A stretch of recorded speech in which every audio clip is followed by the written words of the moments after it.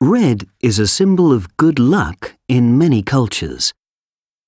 It is the traditional colour for wedding dresses in China and India. But many cultures associate red with danger. This is why we see it on emergency vehicles and warning signs. 8% of the population is red-green colourblind.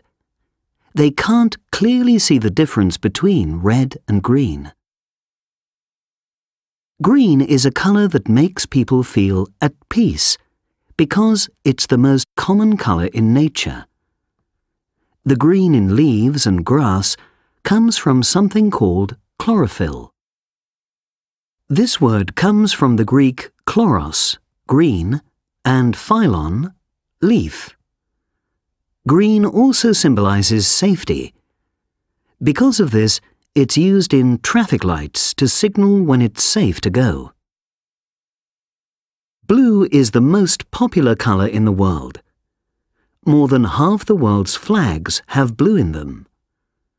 Blue is also the most common colour used by businesses.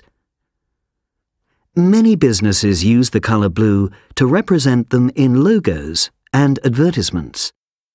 This is because blue helps us feel like we can trust them. Orange gets its name from the fruit. The word originally described the taste of the fruit's peel, but by the 16th century, orange was also the name of this bright colour. Yellow is the colour of taxis and school buses in many parts of the world because it's the most visible colour on the road. Like red, Yellow is also used to warn people of dangerous situations. Because it attracts attention, yellow is used for highlighter pens. The bright colour activates different parts of the brain that help the reader remember the highlighted text. Indigo is a dark colour between blue and purple. Indigo clothing was a sign of luxury in the past because indigo dye came from a rare plant. It was very expensive, and few people could wear clothes made with this dye. Now we use indigo dye to make blue jeans. Violet is a light purple colour. It is one of the oldest colours in the world.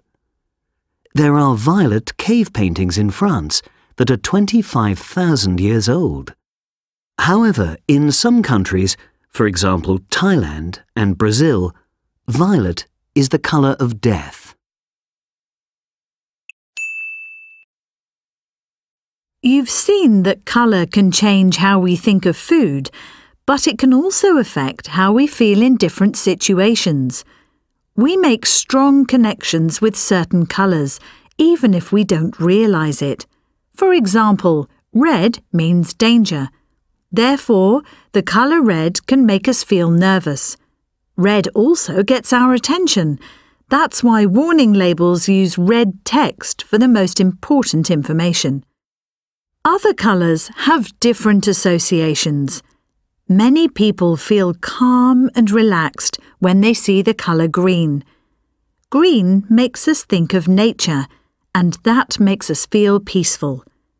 Like green, Blue might also make you feel calm, but blue and other dark colours can also make you feel depressed. When you're feeling sad, people might even say you're feeling blue. Bright colours, like orange and yellow, can have the opposite effect. Look around you now. Which colours can you see? How do they make you feel?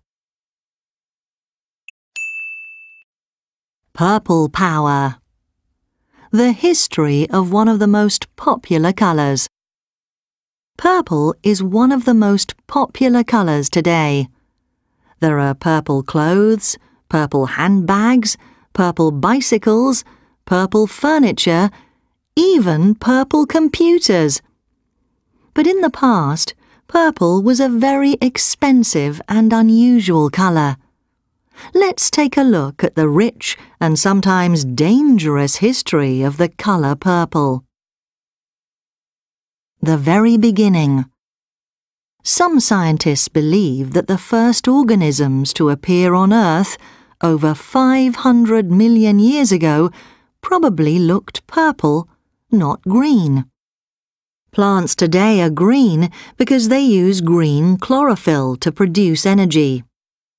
But these early organisms probably used something called retinol, which is a dark purple colour. 3,000 years ago. During the time of the Roman Empire, it was very difficult to make purple dye. The dye came from sea snails. But 10,000 dead sea snails got you just one gram of purple dye, as well as a very bad smell.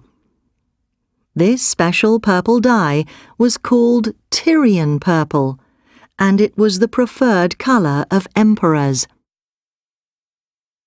500 years ago. In 16th century England, purple was only for royalty. Queen Elizabeth I's clothes were purple, but ordinary people were not allowed to wear the colour. 150 years ago.